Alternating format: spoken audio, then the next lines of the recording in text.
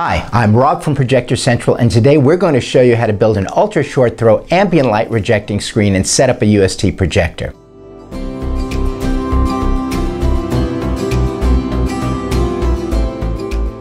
Okay, so we've got Epson's new LS500 projector and 100-inch companion screen on hand for today's demo.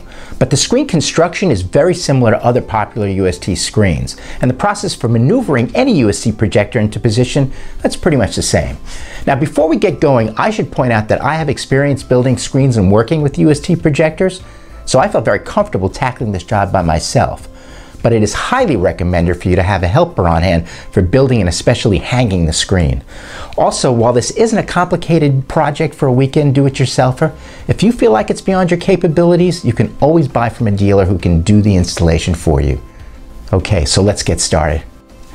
First, you'll want to put out your parts, including the frame and trim pieces, the springs, the mounting hardware, and screws. After that, lay out the provided plastic sheet to protect the frame and trim pieces. As far as extra tools, you want a number 2 Phillips screwdriver for assembling the frame, a drill and screw gun for mounting the wall brackets, an electronic or magnetic stud finder, and a bubble level and straight edge. Also, grab a pencil for marking the wall. The next step is building the rectangular frame, which is a simple matter of slipping the L brackets into the slots in the four frame pieces. They join solidly with four screws on each corner. Now, when the frame is assembled, put it on the side. Later on, we'll attach the screen material in the black border trim, but before that, it's actually a good idea to use the empty frame for positioning and installing the wall mount brackets. Now, you don't have to do it this way, but the frame is much lighter than the finished screen, and it's easier to level on the wall before the material goes in. Also, doing it this way means less handling of the finished screen, and it just reduces your chances of doing any damage to the ALR screen surface. At this point, set up the projector on its furniture and call up a full frame grid or other setup pattern from the menu. Epson's installation guide setup screen is found under the settings submenu. Adjust the distance of the projector from the wall to provide the correct image width to fill the screen surface. The image width for a 100 inch 16 by 9 diagonal screen is 87 inches or 105 inches wide for a 120 inch screen. Epson supplies a cardboard jig that's helpful for situating the projector the correct distance from the wall, but it's designed to be used with the fully constructed screen with its trim pieces already in place.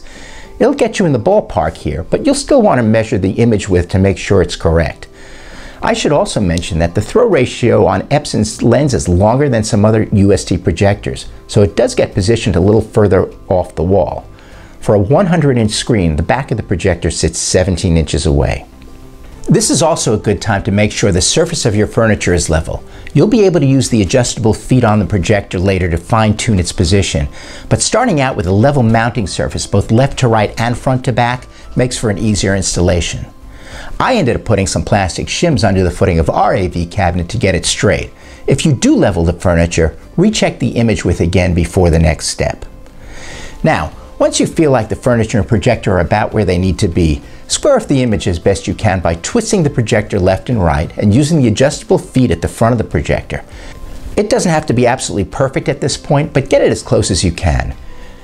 Then we're going to mark the wall with a pencil at the top of the image right at the center point. You're going to use this mark to draw a horizontal line that represents the top of the final projected image. Now, I noticed that the LS500's big lens imparts a very slight bow at the top middle of the image, so I marked about a quarter inch below that at a point more or less even with the height of the corners.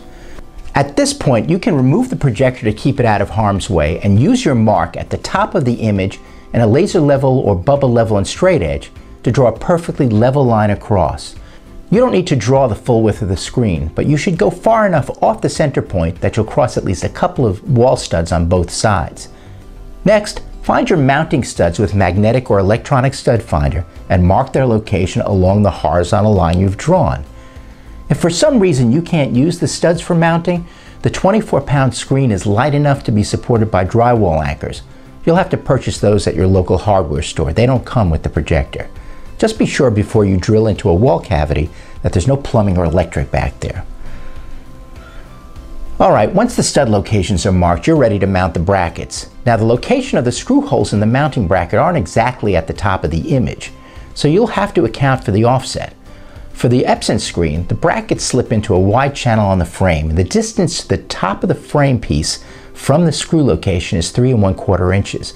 So you'll want to measure down that distance from the horizontal line representing the top of the image and mark your screw holes there. The brackets for the Epson screen have a keyhole and an oval slot for the screws, which allow for some small degree of height adjustment. Once the brackets are up, hang the empty frame and check that it's level. If it's off by a little bit, you can play with the bracket positions to get it just right. With the screen positioning squared away and the mounting brackets in place, it's time to finish the screen construction. The screen material comes rolled with a protective layer of plastic. Unroll and lay out the screen material with the back side up and carefully place the finished frame assembly on top. Now here's the tricky part. You need to carefully position the frame so that you get as close to a perfectly even border of screen on each of the four sides. The corners are cut so they'll wrap neatly around the frame at the joints. But if you get too much material on one side and not enough on the opposite side, you could end up with a tiny piece of screen corner that's not covered when you're done. If you do, the only way to fix it is to deconstruct the screen, including all those springs, and start over. Once you get the frame and material properly situated, Start attaching the springs with the provided spring pullers one corner at a time, moving to the opposite corner to maintain even tension all around while you get the screen situated on the frame. Be careful you don't move the frame in the process and mess up your nice even borders. Having a helper working the opposite side of the screen at the same time definitely helps here. Once those initial corner springs are done and you're satisfied you have the material wrapped evenly around the frame, you can work your way around the screen and apply the rest of the tension springs. Now, with the springs in place, it's a simple matter to attach the black trim pieces. They slip right over the frame and material. At each corner, apply one side, situate the plastic corner cap, apply the second side, and hold it all together nice and tight while you tighten the screws. To finish off the screen, you'll apply two more springs to the middle of the long trim pieces on the top and bottom of the screen to help hold them tight to the frame. It's most important for the bottom piece to ensure that it won't sag. When that's done, insert the two supplied thumb screws to the holes in the bottom frame piece. These thumb screws can be adjusted to hold the bottom of the screen out from the wall so it hangs parallel. When you're done, get a helper to gently lift the screen over the brackets and lower it down. Make sure you hang the screen with the labeled bottom properly oriented. Use the supplied cloth gloves and avoid directly touching the screen surface. The last step here is getting the projector set up and aligned. Epson provides both geometric keystone correction, as most UST projectors do, and border adjustments to block out any minor overspill from bowing.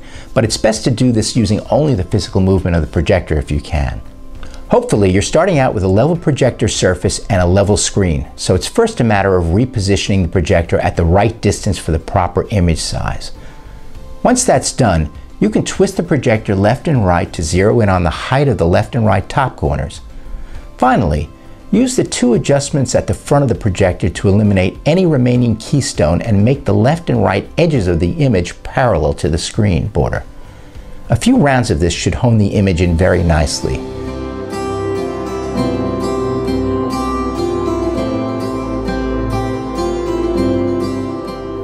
As you can see, building and mounting a UST ALR screen and getting the projector situated can take a little time. But the result is a huge and engaging image that holds up well to bright light and will change the way you watch TV every day. Thanks for watching this video, and if you thought it was helpful, be sure to click that subscribe button and leave your comments below. We'll see you back here soon.